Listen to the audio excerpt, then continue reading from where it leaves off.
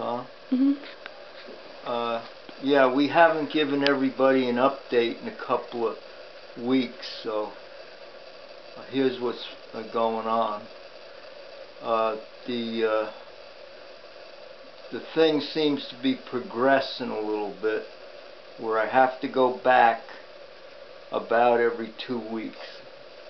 So it's like kind of like clockwork, and it seems like you know it's just kind of progressing along you know, moving up, uh, just telling the facts, you know. Everybody is, you know, we don't try to anticipate anything or anything like that.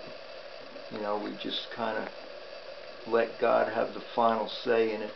Now, I have no idea how, how much time, maybe, what, a couple of months? I don't know. You know, whatever. That's up to God.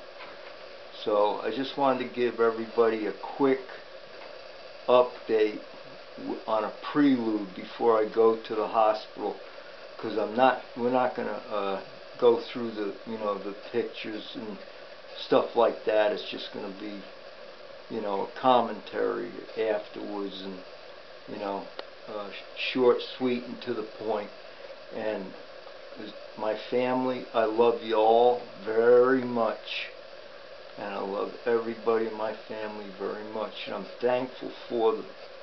So I just wanted to let you know what was going on. Have a nice day.